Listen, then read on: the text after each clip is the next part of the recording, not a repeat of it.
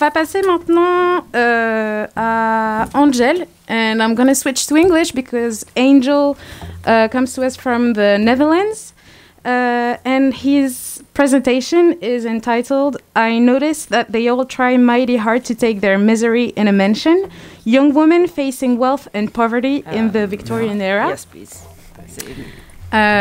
Angel is a research master student in literary studies at Leiden University in the Netherlands. He has a background in cultural analysis and in Dutch and American studies and literature. Oops, sorry. He has written critically about the neoliberal narrative of lifestyle minimalism and is currently writing his thesis on literary depictions of shopping. His research interests are eco-criticism, neoliberal studies, and less abstractly, the question of how should we live on this burning, unjust planet. Whenever you're ready. Uh, is this on? Yes. Okay, good. Uh, I should have prepared a speech like everyone else has. I haven't, so uh, regrets are abundant. uh, now, we're switching gears from what I understood of the previous presentation, which was not very much. Uh, and we are moving on to uh, literature, which is my field. Let me just set the time so I don't speak forever. All right. Um, so, what I'm interested in here is wealth and poverty, which could be seen as the public, the social faces of scarcity and abundance. Um, how wealth and poverty relate to literary things is actually my topic. Uh, we'll survive. okay, so my when I made this presentation, I really emphasized uh, wealth and poverty, but what I'm actually interested in is material things and how they are depicted in literary texts. So, what are literary things? Well, what I consider to be literary things are objects, man made objects depicted in texts. Uh, I'm especially interested in novels because they were the most popular form of entertainment or literary entertainment in the 19th century, and I'm especially interested in the 19th century because it was a period of great social change and because it set the basis for society as we know it today. So, uh, industrialization, of course, took root, and industrial capitalism also was established. Um, industrialization meant two things that I'm interested in. Uh, first of all, people flocked to cities from the countryside because working in factories was uh, what made money uh, for the working class, and it was not really sustainable to live rural existences anymore.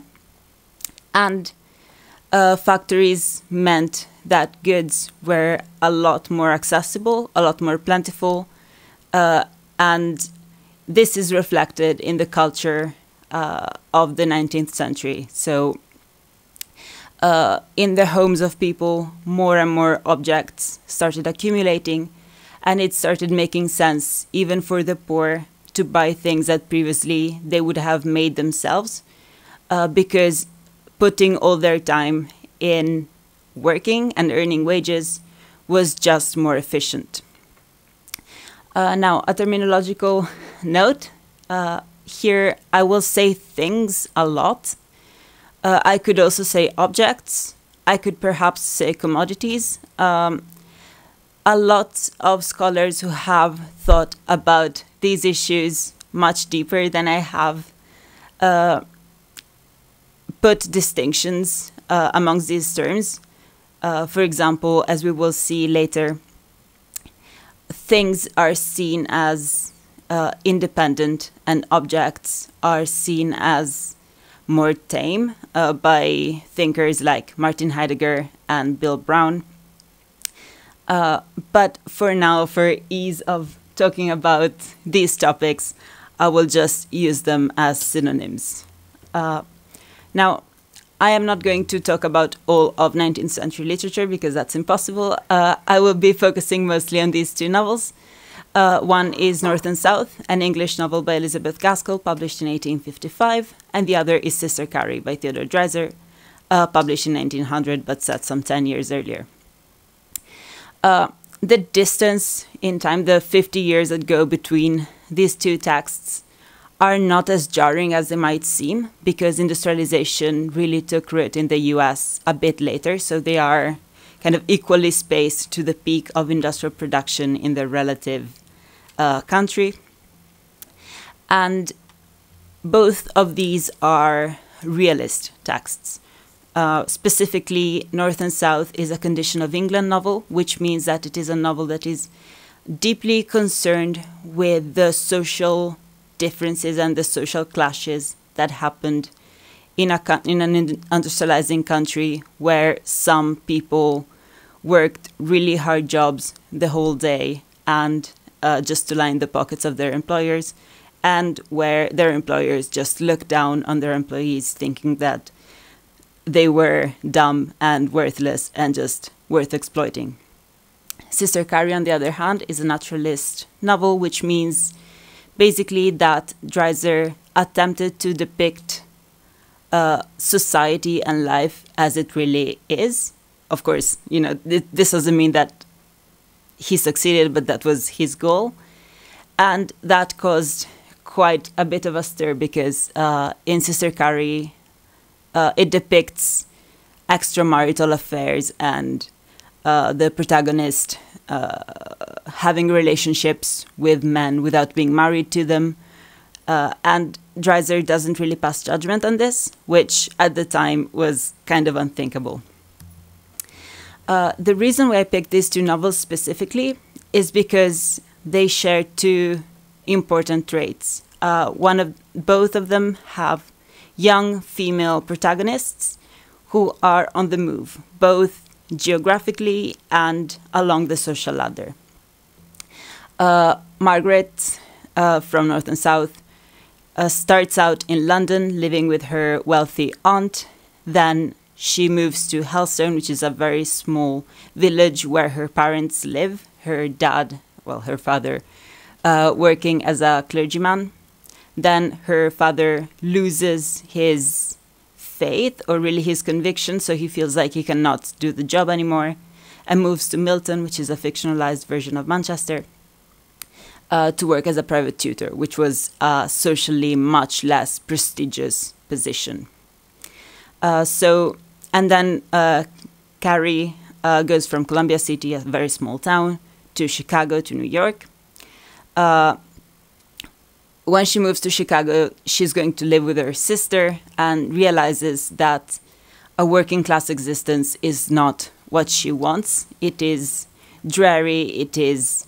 It has very few satisfactions, and uh, so she decides to um, have relationships with two men in succession uh, that will allow her a much more lavish lifestyle without having to spend time in factories.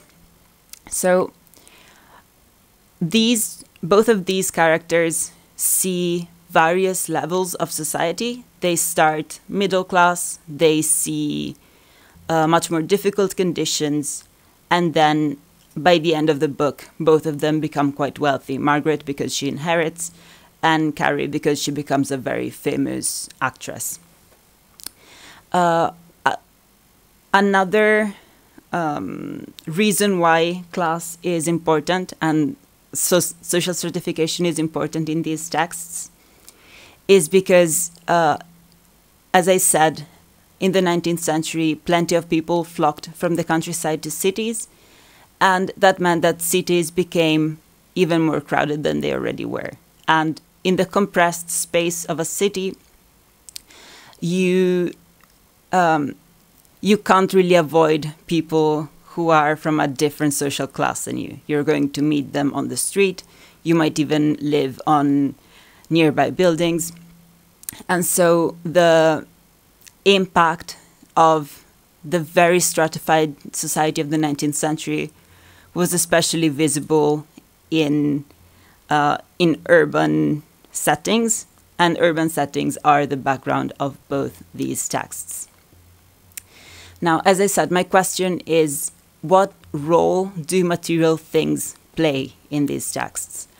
I have tried to delineate some um, functions, and the first one is rather obvious. Uh, things act sometimes as backgrounds. So, in the first quote, um, there, it's a description of uh, Carrie's sister's house. Uh, the walls of the room were discordantly papered, the floors were covered with matting, and the hall laid with a thin rag carpet. Um, Carrie only knew that these things to her were dull and commonplace. Whereas uh, the second quote is a description of the sitting room of uh, Margaret's parents once they moved to Milton. Uh, they don't have mirrors, um, a warm, sober breath of coloring, uh, dear old Helstone chintz curtains and chair covers, white china vase filled with unassuming plants. So, what these descriptions give is kind of an affective, almost bodily sense of what it feels like to be in these spaces. Um, these these things are not really important on their own. They are important in how they communicate an atmosphere altogether. Uh, one of the most important critics of uh, things in literature is Ellen Freedgood, who wrote a book called The Ideas in Things. And she thought that this type of use for things is not really worth thinking about too much because things are just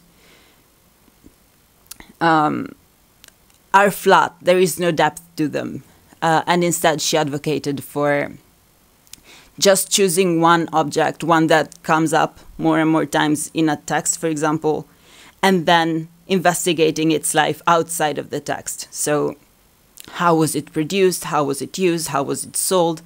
Or what kind of people had this type of object in their home? And then from this historical research, then bring it back to the text and see how it changes the interpretation. But I think that uh, one just has to um, at least acknowledge this very basic function because it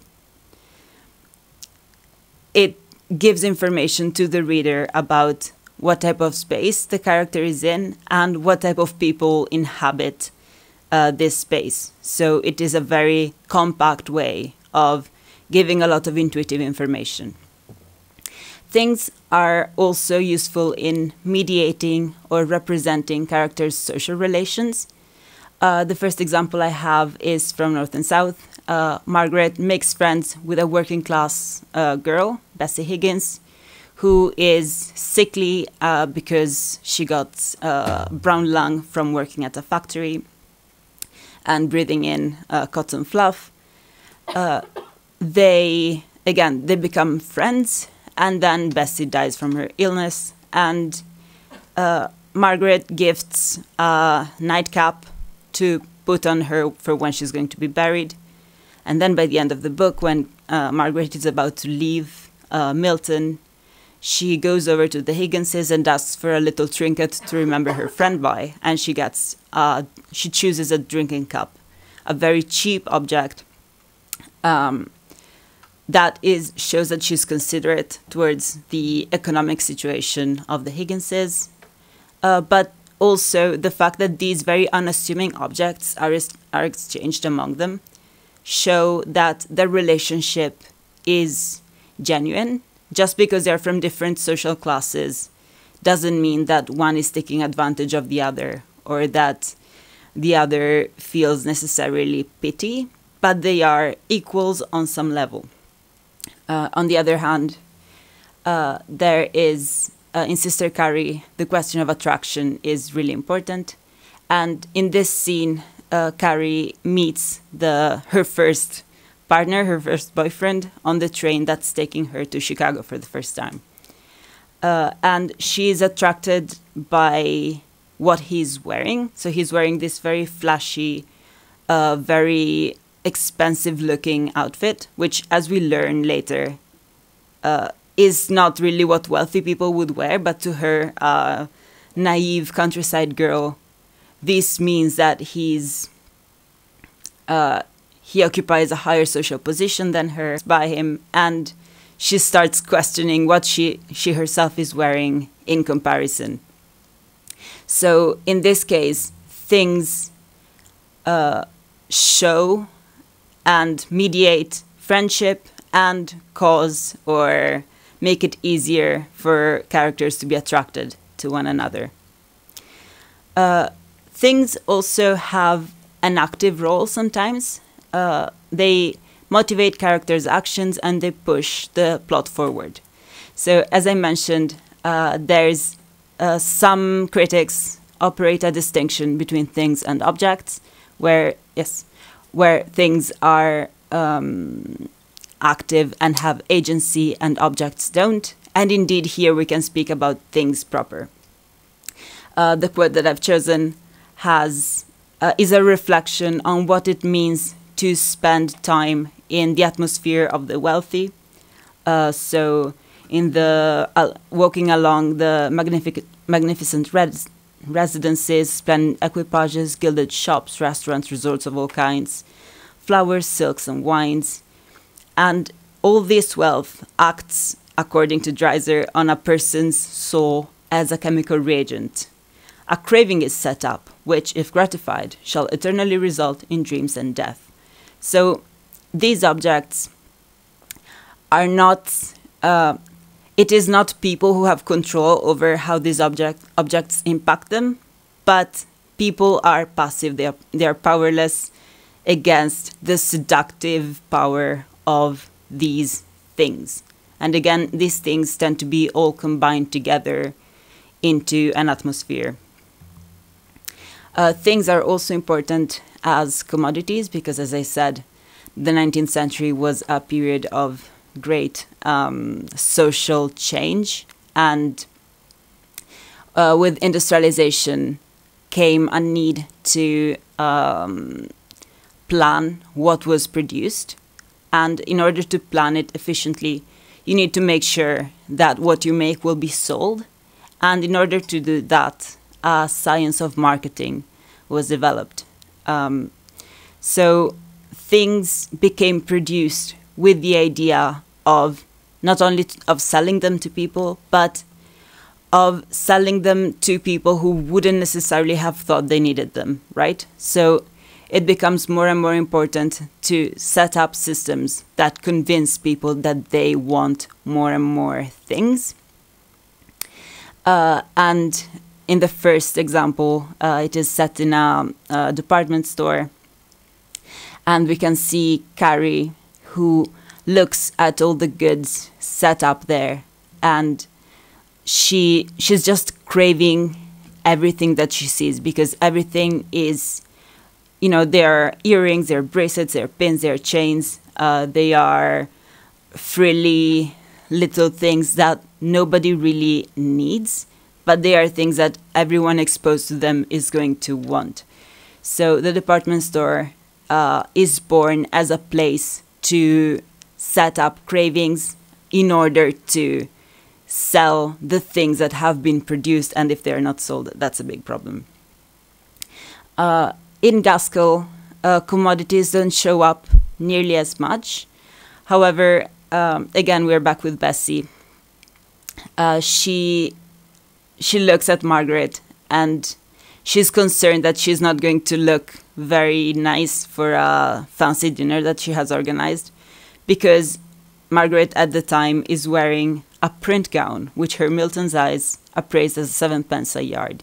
So the uh, material of uh, Margaret's dress is something that Bessie knows intimately because she might have made it or she has made similar things and she's able to put a price on them. And this mechanism of putting a price on things is what characterizes commodities because commodities are objects that are made for exchange or that are characterized by their exchange value. Um, and so, in writing about things as commodities, uh, writers can reflect on the social and economic changes that have faced their uh, that characterize their time. Uh, just to conclude, so all these uh, functions of things are clearly not separate. They are they work together and they're really hard to identify. But my point is that looking at just one or two functions, as some of these authors do, uh, doesn't offer a complete picture because it's always going to leave something out. And I think even though it is much harder, it is worthwhile trying to find and develop a framework to think about all these functions together. Thank you.